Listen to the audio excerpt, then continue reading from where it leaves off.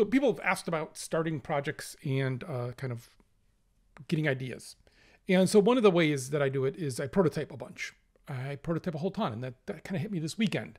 So I don't understand people when they say they want to make games with their own engine. God bless you, but you you and I know these people who do this. Like you have to dedicate that that is the game. That whatever's in your head, that moment you start is what you're going to ship. Because you have to do so much work just to do fundamental things that I can do for free. So I use Unreal 5 right now. And I'm just throwing everything at the wall. I'm downloading third person packs. I'm doing art packs, doing animation, doing making my own blend spaces, testing different things. What does it look like linear? What is this checkpoint save system? Like just everything, but I just can do it really quickly and move really quickly and throw a bunch of stuff out. So there's probably 15 projects that I started, right? And with that, uh, I'm a big fan of you start something with an idea and then you go, okay, is there more than one of this? Like when we were doing for the Anacrusis, we were doing Mana compilers and we had perks. Do we have more than 10 perks? Because if you have more than 10, you can stop thinking about it. You'll think about more of them. Um, and like this, this bit me in the butt uh, one time. So for Left 4 Dead 2, we were thinking, well, the director will have all these other controls and we'll do all this other stuff. And originally came up with weather um, because I'd been playing a bunch of um, Call of Duty uh, Modern Warfare, the first one. And you remember that one multiplayer map that's just super rainy and it just feels oppressive. It's just raining so much. And I just really like that. Uh, Ito then took that and and Hard Rain is just like this beautiful idea of like it being one map on the way there and one another map on the way back, but it's the same map and you just see it differently in the water and all that. Like that, you know, again, why you, why you work with smart people. Uh, but like I'm like, oh, we'll think of a bunch of others. I can stop thinking about this. No, you got to think of more than one. You got to think of more than one because otherwise, you, like you get fixated because you're anchored to that one, and you're like, oh my god, what else could we do with the weather? The weather, my god, the world. So then, then you're only thinking like in world event things versus other things that it could do, like give you health. Uh, and so that is a problem you always have to do. So I like to prototype really quickly, and I'm like, do I just have a bunch of ideas in this space, or am I out of spaces? Am I out of ideas? So okay, so we're doing that. We're doing that, and I'm just throwing ideas at the wall. And again it's like marketplace free assets or hey 10 bucks and i can make a whole city? Sure i'll do it. Uh, who cares what it runs perf wise uh, i'll say this it's amazing how well it runs perf wise all right but so i'm just throwing stuff at the wall. And then uh, we got a problem. Is this weekend i'm like oh man you know what? I had this idea. I like i like so i have like two big thoughts now. I've kind of whittled it down to of things that would be next right?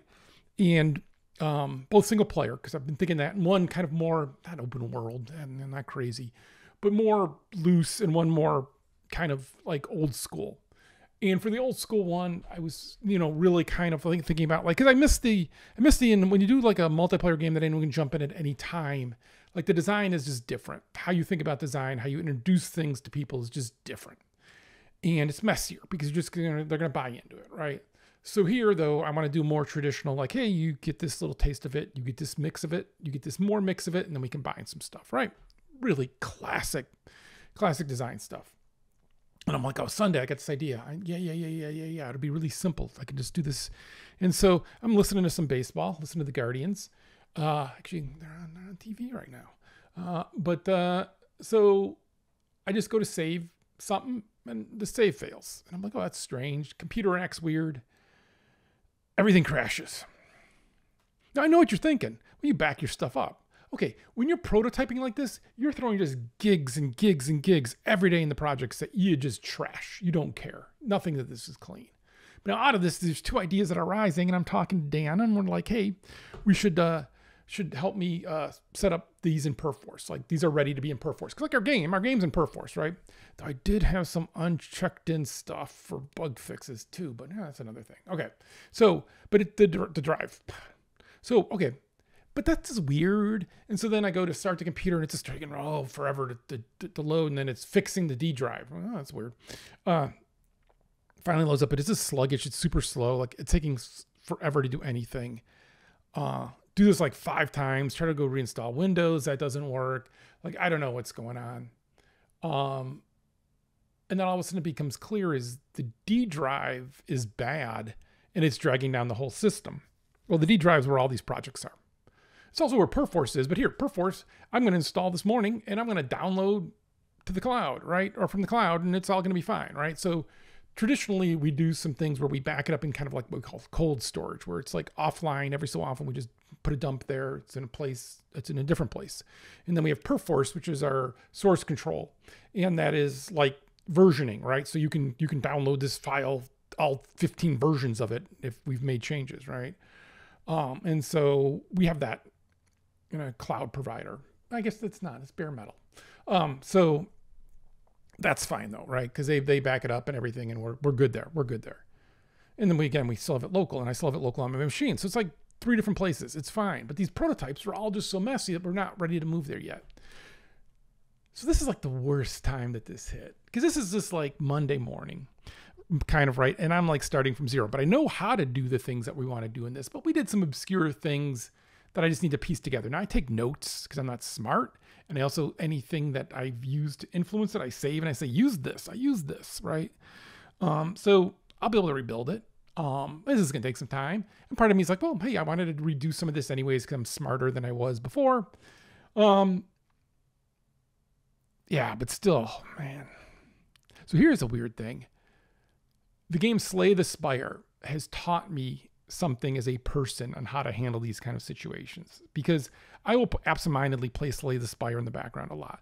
every so often I pick the wrong card or I choose the wrong perk or whatever. Just like it goes it goes sideways, right? I don't restart the game. I'm just like just pretend it just started this way. And this was the only choice you had and this is what you got and you just have to move on from here. And it's kind of made me zen about that. And so it makes me a little zen about this. Like, okay, all right, I know what to do. I know what I want to do. I'll probably learn things along the way.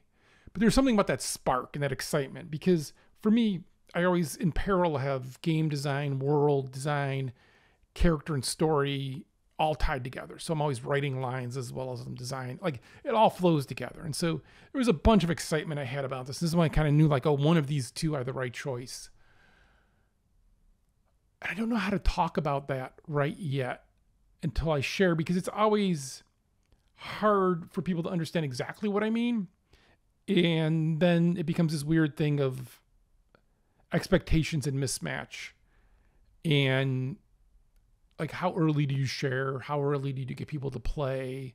I had somebody play already one of the prototypes just to be like, hey, is this how crazy is this? So I don't know.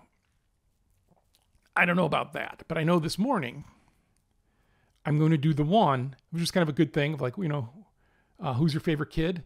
Uh, how do you tell? Well, you set the house on fire, and who do you go rescue? Ah, so what's the first one I'm rebuilding? So I, I know the first one I'm rebuilding. So I guess that that gives me a little insight because that is that brain part of your brain where you don't have a thought about it. You just start doing it, and you realize, oh, I'm doing this one first. I guess. Why? Why? And you try to be reflective about it and understand. But either way, that is kind of where I am this Monday morning. I have got a bunch of drives I bought. The C drive's fine. Everything else is fine. I don't know, but I got a couple. Installed them. They're good to go. I'm trying to see if I can restore the other one just to save me some time. But really, like, I'm not going to spend a bunch of money on it because it's, it's not that much work.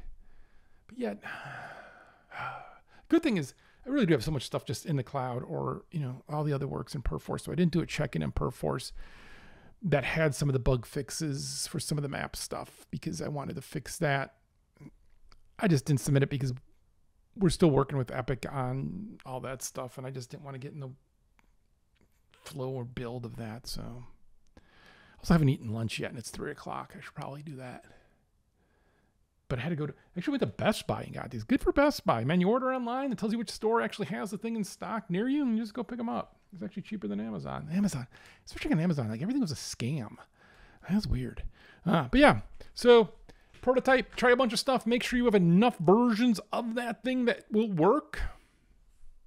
Right, that you have more than one and then you learn and you start implementing and you start like no art just testing in weird goofy boxes and cubes and you go from there. That's where i am at least. We'll see. As always we'll see. Ah Cyan, with this i'm playing the game of what was on my d drive. Ends up the editing tools. It's going to take me a few more minutes